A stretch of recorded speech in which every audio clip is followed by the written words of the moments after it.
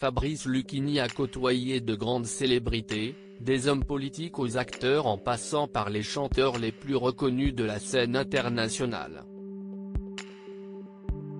Dans les colonnes du Figaro en kiosque le mercredi 6 mars, l'acteur de 67 ans se confie sur sa relation avec Emmanuel Macron, qu'il admire tout particulièrement, et ne le tarit pas d'éloges.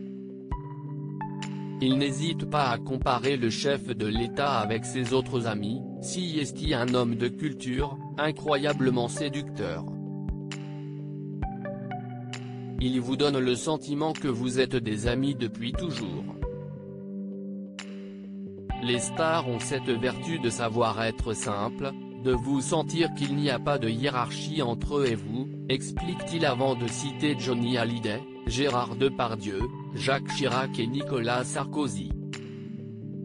Mais d'après lui, le président de la République actuelle se démarque ainsi, il a en plus cette qualité de n'avoir aucun snobisme, précise-t-il. Dans une interview accordée à Vanity Fair en septembre 2017, Fabrice Lucchini se confiait ainsi sur sa rencontre avec le leader du mouvement En Marche. En 2015. Nous avons échangé. La séduction marchait entre nous, relatait le comédien. J'ai senti une graine de star. J'ai rapidement installé un petit rite avec lui, je traversais Paris en moto-taxi pour aller lui lire des textes à Bercy.